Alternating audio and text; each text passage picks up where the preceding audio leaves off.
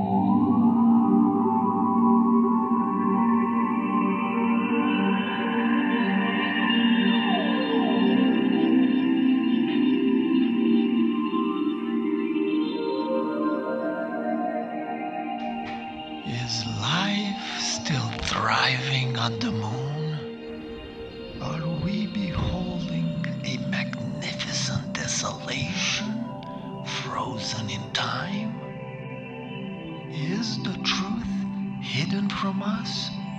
I invite you to come with me on a journey of discovery. We'll observe the moon in thermal infrared and try to understand its atmosphere. Then we'll use the latest computer image enhancement software that astrophotographers have been using for quite a while and we'll squeeze out the best resolution that we can given a certain telescope aperture. And ultimately, we'll ask ourselves what is the true color of the moon and what does it mean? I purchased my first telescope about 10 years ago. The primary targets the planets and the moon. Using high magnification, I've enjoyed zooming in on the moon and the craters and looking for the extraterrestrial presence on its surface.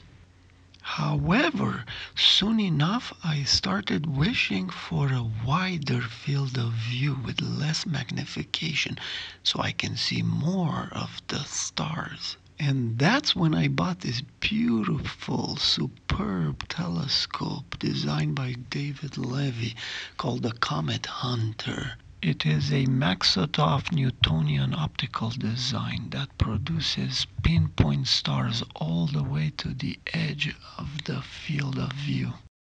Recently, I purchased an RC telescope and this simple Newtonian uh, from Skywatcher so I can use with my thermal cameras. And uh, that's when I really started wondering about the color on the moon. Is it real? Why are we shown only black and white or grayscale images of the surface?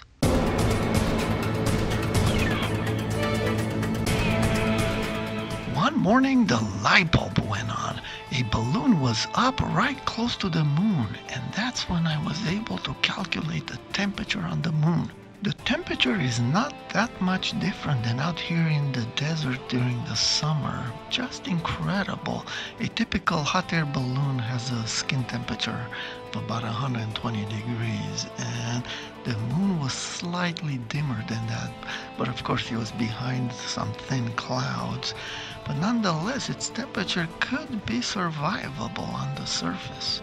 The most amazing thing that caught my attention was this halo around the moon. Is it an atmosphere, thermosphere? It really fascinated me, and that's when I realized what is really happening. The solar angle of illumination relative to the surface dictates the amount of heat that's being deposited. And so we see a bright red, which indicates a hot zone right normal to that vector. And um, also, when the phase is half, we look and notice that there is also a tiny gradient indicating the presence of an atmosphere. This was incredibly fascinating, but I wanted a little bit more resolution.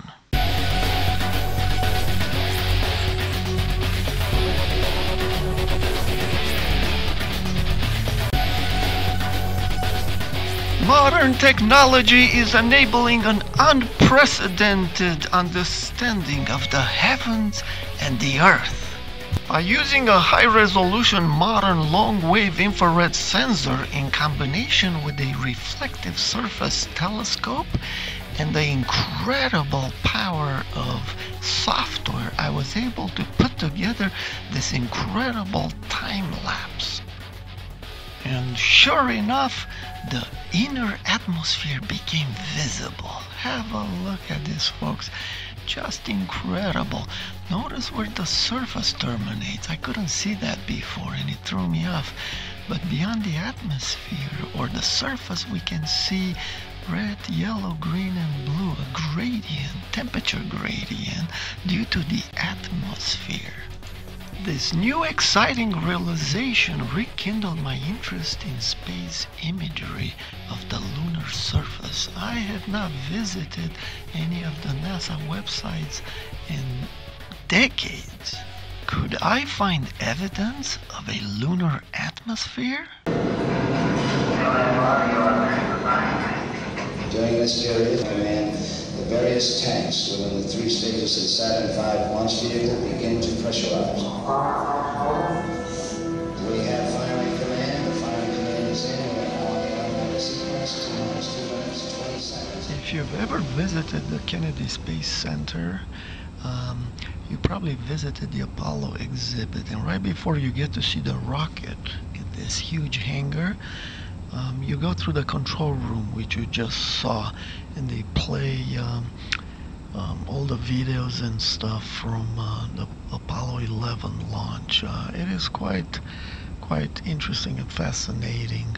I've been to Kennedy Space Center so many times while living in Florida and uh, I've enjoyed it um, every time. But after a while, it gets old. Here's me learning to pilot the space shuttle. Uh, there's lots of exhibits and things to see, and um, it's it's quite enjoyable. Um, let's listen to what Jim Lovell has to say.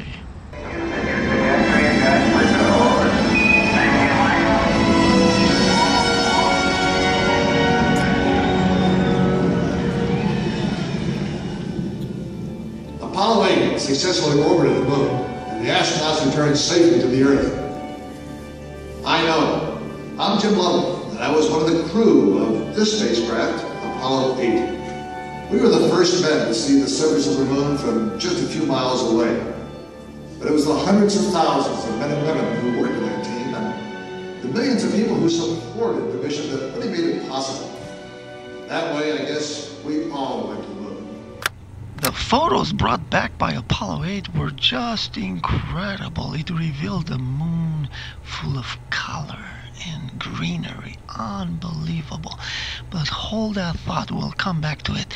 Before the Apollo missions, the lunar orbiters brought back some incredible photography. And that's what I turned to for evidence of an atmosphere.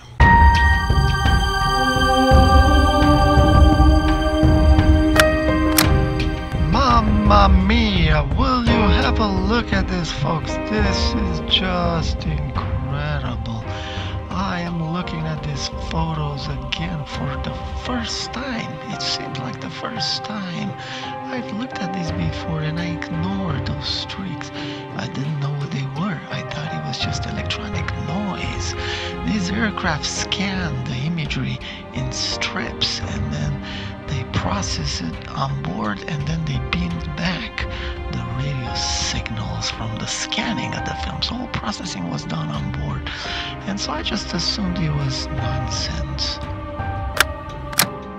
Wow, these views are so breathtaking and um, you know these streaks, this very light um, haziness that's in their atmosphere can also be observed when looking against a dark shadow, a contrast. Look at that. Almost see how the light uh, has a circular path there. Unbelievable, folks. It's almost as if the wind is blowing, like right over the edge of that crater, and the sunlight catches that faint haziness. Unbelievable. The thrill of discovering the lunar atmosphere was just too much. And just when I thought was at the peak, it got even more interesting. What I discovered next just left me speechless, folks. This is one of my favorite photos. Notice the faint shadow of the evening sun across the dusty atmosphere of the moon. There's so much in this photo, It is incredible. Look down that? What are we seeing? Then I saw it the spaceship in the crater. Once you see that, you cannot unsee it. I went, What? No way. I've stared at it, looked away and back, and I could not shake it. Once you see that, you can't see it. Then got even more interesting. Look at the uh, the sky there, and also I'll show you in a second in the foreground the fog going down a uh, crevice into a lake. But right now, those are marks from the scanner. Okay, you can see them throughout the photos. You can also see stars, very faint. But the atmosphere, I highlighted in blue. Yeah, just incredible. So look at that. Look at the city right there. Oh my God. How come I never saw that before? This is incredible, folks. And look at the fog. I assume that was some, you know, uh, processing mistake, some chemical um, processing of the film that went awry. Look how the water flows down, or some liquid, and it gives off steam. Unbelievable, folks. And if there's water, could there be vegetation?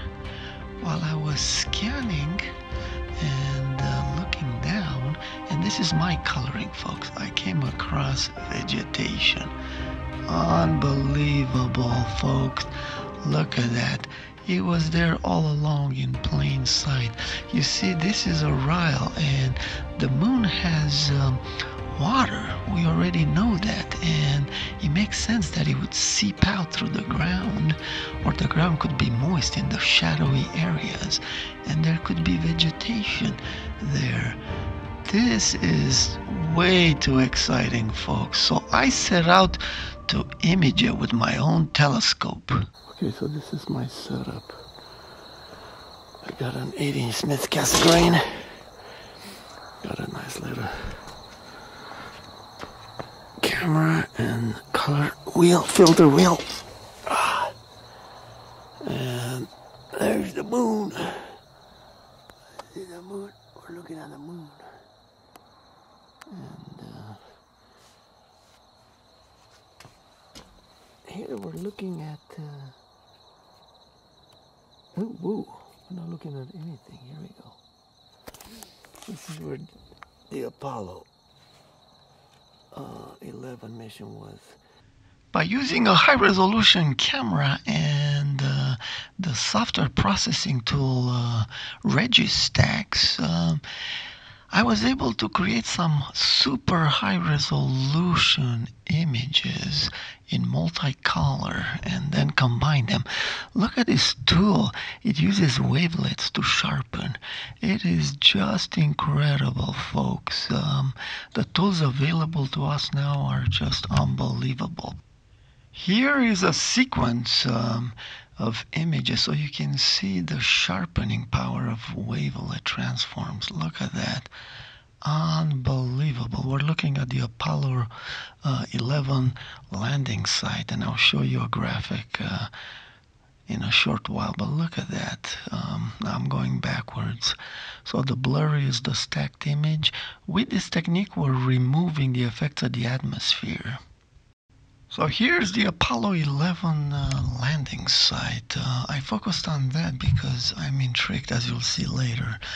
Um, yeah, so on the right is what we can get with this process and high resolution uh, cameras. Now, here's a comparison, folks. Uh, on the left, you see what a typical uh, color camera can do, and that's because it has a Bayer uh, filter array in front of the sensor to um, select and produce color. So it interpolates between adjacent pixels to uh, determine the color at a particular pixel.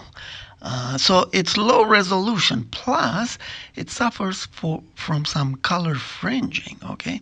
In the center you see uh, a stacked image captured with these incredible new uh, astronomy cameras.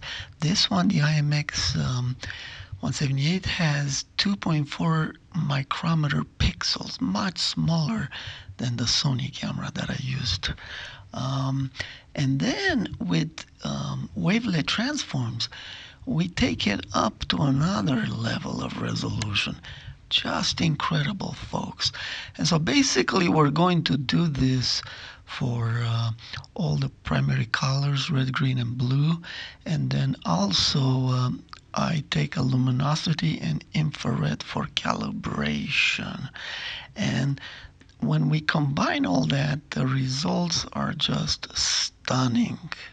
Before I show you the final result, let's talk about the sensitivity of our eyes. We are wonderfully made and we have incredible sensors, but uh, electronic sensors are surpassing um, our human capability. If you ever looked at Jupiter, it just looks like a disk. It's because the intensity overpowers our eyesight. But with electronic sensors and cameras, we can control these channels separately. We can use uh, different um, logarithmic uh, scales, etc., we have so much more control. The hyperspectral imager on board Galileo took this uh, photo of uh, the moon, and look at that greenery. Wow, when I saw that, I said, that's the true color of the moon right there. It corresponds with what Apollo 8 photographed. Just incredible, folks. And then the Himawari 8 and the GOES satellite imaging suites uh, confirmed the same thing. Here is one of the most incredible images. After I saw this incredible, breathtaking photo of the moon, folks, I had my answer. I knew what the correct color of the moon should be. It was this one. Even though it was low resolution, there's a lot of greenery right where Apollo 11 landed. And so I was anxious to process the high resolution images to confirm that. So without further delay, here's the incredible high resolution photos of the Apollo 11 landing site that I produced.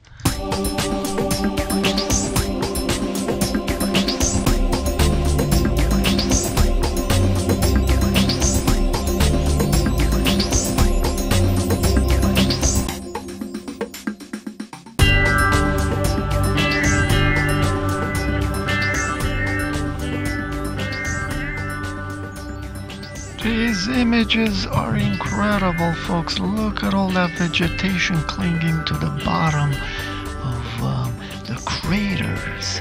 Just incredible, folks.